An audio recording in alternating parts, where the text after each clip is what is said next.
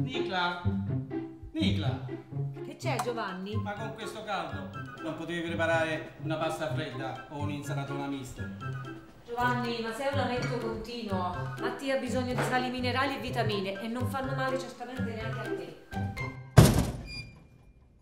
Buongiorno. Mattia, ma quante volte ti ho detto di non sbattere il portone? Papà, ma lo sai, questo è il paese del vento. Fa tutto da solo. Questo è il paese delle lingue lunghe, come la tua che è molto lunga, moccioso, altro che vento, eh. Ma mamma, ancora zuppa puzzolente di erbacce. Sono le verdure dell'orto di nonno Gino, mangiale che ti fanno bene, dopo avrai la tua cotoletta. Pa, oggi il professore Marinelli ci ha detto che faremo uno straordinario viaggio. Ah sì, e dove intendi portarmi? eh, in Africa. In Africa? Ma che c'entra gli africani, che c'entrano ora con la scuola? Sì, è venuto un tipo che è molto simpatico che si chiama Edoardo, però il prof lo chiama Eddie, e ci ha detto che i ragazzi africani non vedono l'ora di venire a scuola. Ma che si è messo in testa il professor Marinelli? Pensasse a insegnare. Giovanni, ma ti sembra il modo di rivolgerti a Mattia? Sì, sì, va bene, me ne vado. Tenetevi l'intellettuale, il professorone. Vedrete che fine faremo, vedrete.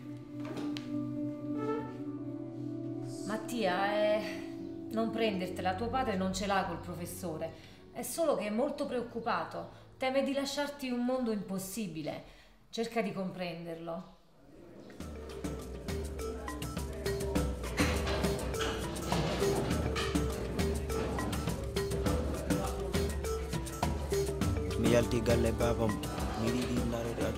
Ragazzi, vi presento Eddie.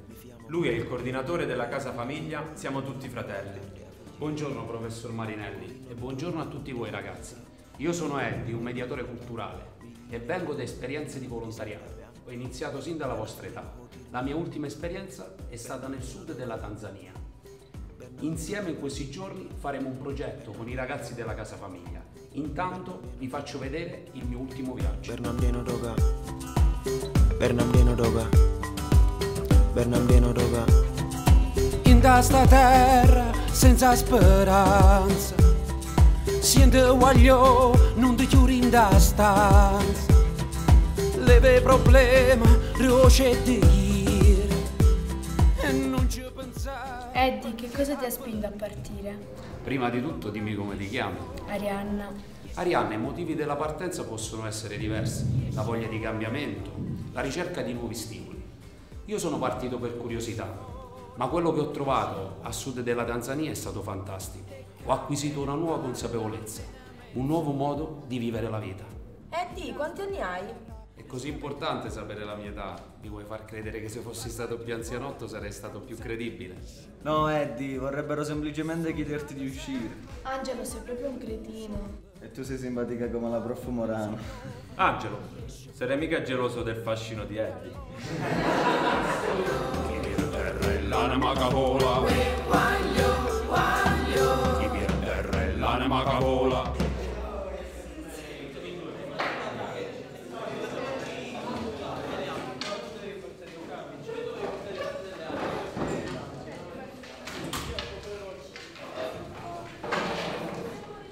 Ragazzi, finalmente ci siamo. Oggi partiamo con il primo laboratorio di cinematografia. Quest'anno ci saranno tre corsi extrascolastici, alla fine dei quali gireremo un cortometraggio.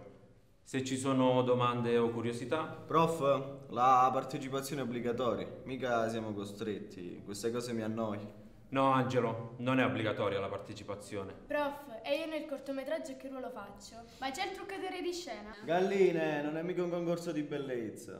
Idiota, dai, ripetilo ancora. Ehi ragazzi, calmi. Ruoli, copione, dizione, set, Chuck si gira, vi sarà spiegato tutto a suo tempo. Ragazzi, come già detto il professor Marinelli, oggi mi toccherà il compito di educarvi al linguaggio cinematografico. Lo so, per voi non è facile stare sul set, però cerchiamo di fare un bel lavoro, di entrare nella parte e soprattutto di memorizzare i dialoghi. Il cinema è un lavoro molto duro, però cerchiamo di viverla tra di noi questa cosa e di farla diventare bella, ok? Ci siamo? Ok Pietro, ci provo. Azione! Bello questo corso di cinematografia, non trovi?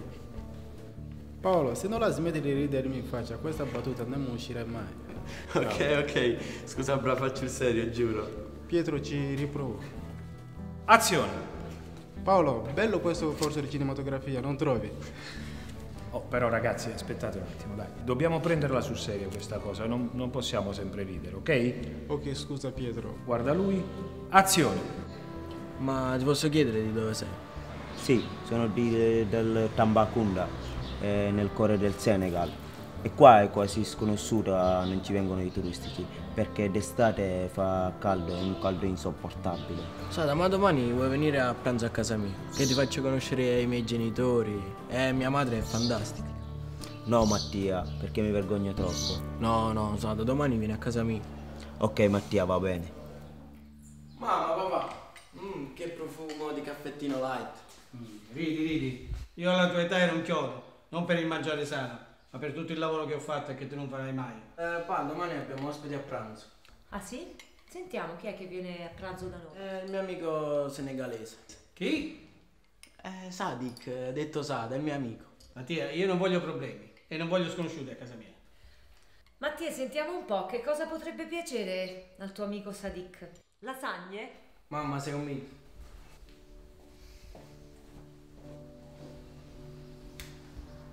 Ciao mamma, ciao papà. Ciao, buongiorno. Ciao Sadik, detto Sada. Io sono Nicla, detta Nicla. Buongiorno signora Nicola. Papà, ti presento Sada. Piacere Giovanni. Piacere Sada. Nicla, pronto queste lasagne? Certo, certo, accomodatevi, per te le vegetariane. Dalle arcane. Hai detto qualche cosa? Tengo fame. Allora mi raccomando i piatti puliti, eh? Se no mi tocca rimpinzare il nostro amico a quattro zampe. Beh, l'unico movimento che fa Gustavo è quello dalla ciotola al tappetino. Ma grazie mamma, se le dai sempre gli scarti delle lasagne invece di darle i croccantini. Eh. Anzi, papà, invece tu potessi pure tu mangiare i croccantini al posto delle lasagne. Come sei simpatico Mattia? Come Ugo il benzinaio, eh? Che ti pulisce il vetro quando uno ha fretta. Sada, come ti trovi nei nostri piccoli paesi con la nostra gente? Bene signora Nicola, all'inizio non capivo la lingua, è stata dura, ma adesso sono tranquillo. Alla casa famiglia sono tutti gentili. Ma perché lasciate le vostre famiglie per venire a stare peggio qui che nei vostri paesi? Quando sono andato via dal Senegal avevo solo 13 anni. Il viaggio nel deserto è durato una settimana. Quando sono arrivato in Libia con un amico mio abbiamo chiamato i genitori e ci hanno mandato i soldi e abbiamo pagato la barca per venire in Italia. Mentre che eravamo nella mare e arrivano la polizia di Libia e ci prendono, ci portano di nuovo in Libia in prigione. In prigione sono stato tre mesi e poi una sera abbiamo spaccato la finestra e siamo scappati da là. E io mi sono nascosto sotto una macchina e l'amico mio, mentre che veniva da me, lo hanno visto, l'hanno sparato qua, morendo vicino a me. Ma ha visto una signora e mi ha chiamato, però io scappavo perché avevo paura, che pensavo che lei mi ritornava di nuovo in prigione. E poi lei mi seguiva e poi mi sono, sono fermato e mi ha preso la signora e mi ha portato a casa sua. Sono stato due anni e qualche mese con lei. Quando mi davo i soldi io li mettevo a parte perché in Libia c'è la guerra, non volevo stare in Libia. E poi una sera ho chiamato un amico mio che era in Libia che face, eh, faceva partire le persone per in Italia. L'ho chiamato e ho detto guarda che io vorrei andare in Italia, come faccio? Mi ha detto proprio stasera dovrebbe partire una, una barca. E mi ha detto se, se riesci a venire parti con questa barca. Ho detto allora verso le otto e mezza vengo, mi ha detto va bene perché la barca deve partire alle nove. E sono venuto da lui, mi ha fatto partire con questa barca. E poi la barca mentre che andava è bucata. Il gommone poteva portare massimo 70 persone e noi ci hanno fatto andare 116. Siamo arrivati fino all'acqua Italia, c'era la nave e poi c'erano le persone che hanno visto la nave, erano felici, sono alzati in piedi nella barca e visto quando la nave viene, porta l'acqua pesante, poi l'acqua ha preso la, la barca e la barca si è alzata un poco. Tutti quelli che erano in piedi erano tipo 15 persone, 16 sono caduti nel mare, tutti sono morti.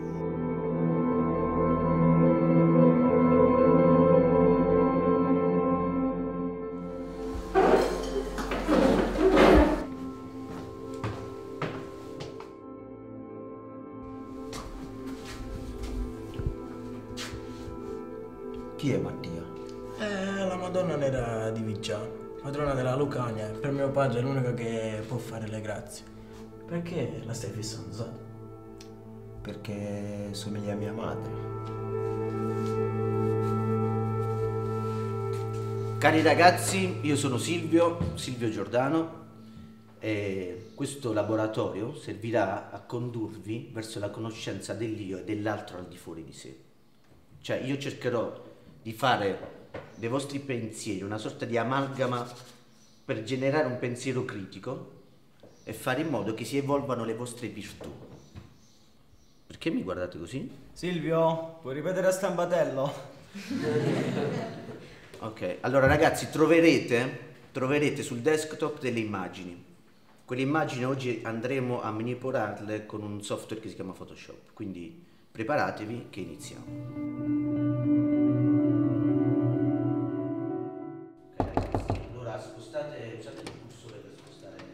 Professore, può uscire un attimo? Sì, arrivo subito.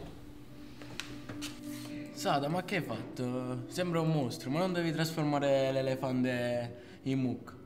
Mattia, aspetta, guarda questo. Questo è bello, è bello forte, eh?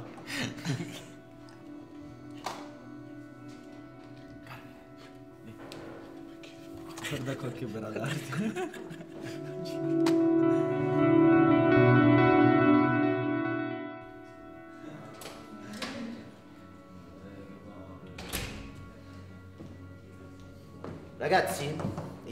collaboratore scolastico mi ha comunicato purtroppo che non si trova un, un portatile.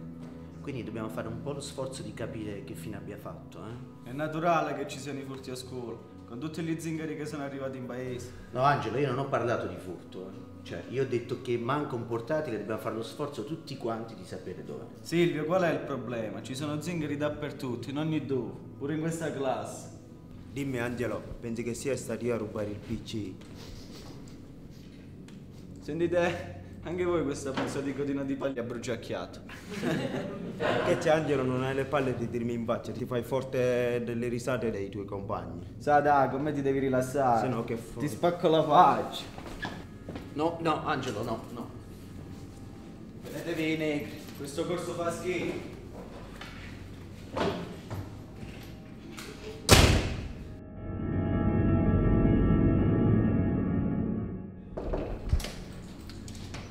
Ragazzi, volevo comunicarvi che il computer è stato ritrovato. Ce l'aveva il tecnico per un aggiornamento. Quindi Grazie. Ecco ragazzi, quindi credo che per oggi abbiamo finito e ci vediamo venerdì prossimo.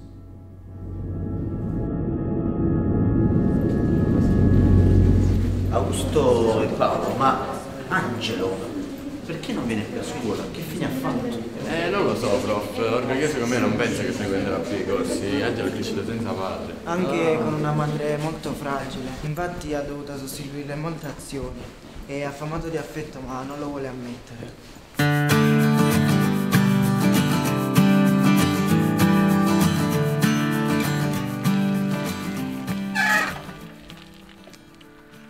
Cosa sono questi sassi in forma di rettangoli quadrati?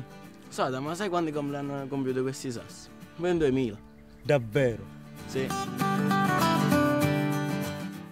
Eh, questa villa è venuta allo scoperto quando stavano facendo la rete per il centro olio.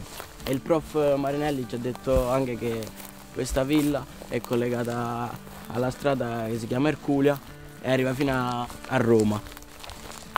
Ma lo sapevi che i romani erano un popolo enorme e avevano conquistato tutto il mondo a loro conosciuto, anche l'Africa settentrionale? Ma il Senegal non ce l'hanno fatto a conquistarlo. Beh, un'antica credenza dice che i romani non hanno conquistato l'Africa perché avevano paura dei mostri che c'erano nel deserto. ma la verità è che non sopportavano il caldo e avevano paura dei morsi dei serpentelli. Ma come i romani erano così forti e poi hanno paura dei serpentelli?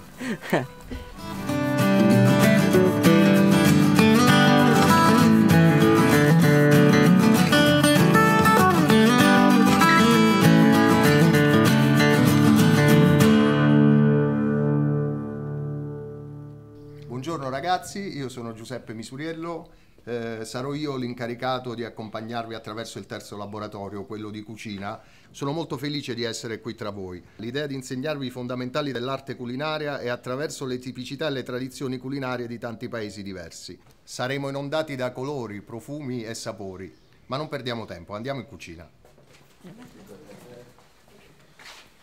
Tu sei Carmine? Sì, chef. Mi hanno detto che avresti voluto frequentare l'alberghiero. Il mio sogno. Bene, considera che anche io ho fatto degli studi totalmente diversi e poi sono arrivato a, a ottenere una stella Michelin come cuoco. Quindi continua a seguire i tuoi sogni con la passione e con la tenacia. Grazie. Andiamo. Allora ragazzi, oggi vedremo come si prepara una tipica merenda senegalese, le banane fritte. Sada, ci fai vedere come si preparano? Sì, chef, intanto accendo il fuoco e lo porto a temperatura a olio.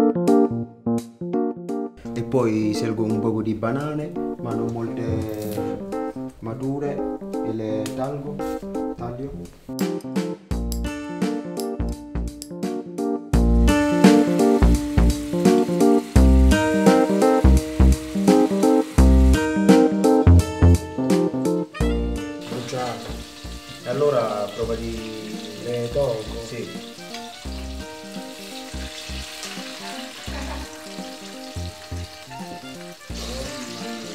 Assurdo, eh. poi-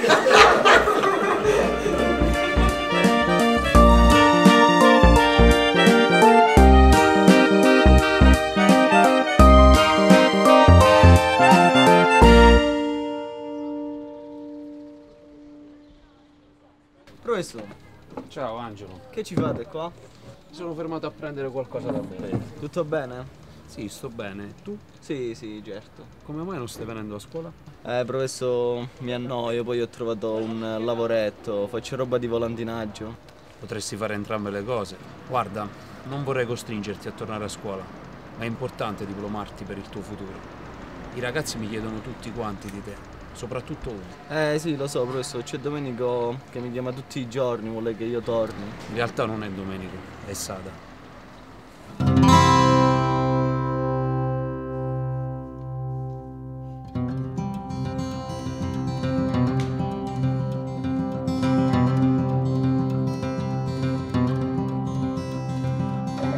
Sada, oggi ti ho portato in un posto speciale. Mattia, perché mi hai portato qui oggi? Vieni, ti voglio mostrare una cosa.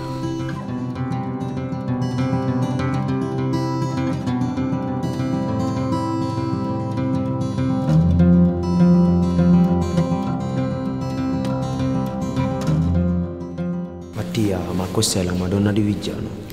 Sì, Sada, è lei. Volevo che ti emozionassi di una donna che hai creduto tua madre. Mattia sei il mio migliore amico. Anche tu, Sada.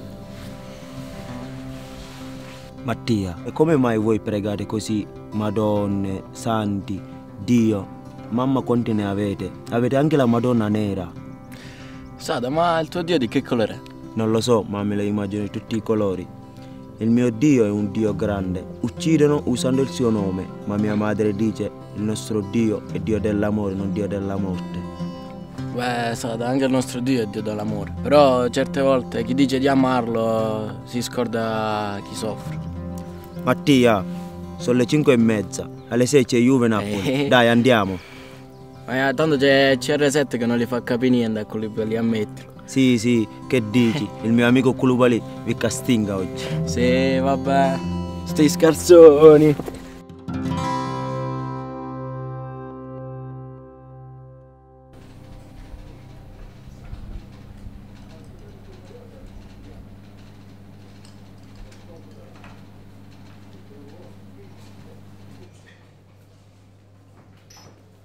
Sada, ha detto Eddie che volevi parlarmi. Sì, perché non mi andava giù che a causa mia tu non frequenti più il corso col Silvio.